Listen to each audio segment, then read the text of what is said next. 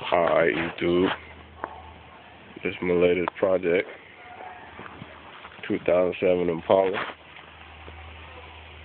With the fiberglass panels at the bottom. I ain't through yet though. Got a little more work I gotta do to them. I sound them down a little better.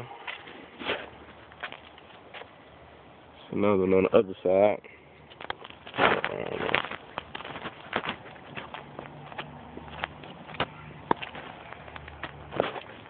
Yeah, this gonna be the first Impala. A new school Impala with the fiberglass in it. We give y'all a little update on what I'm gonna do to the back doors. Alright.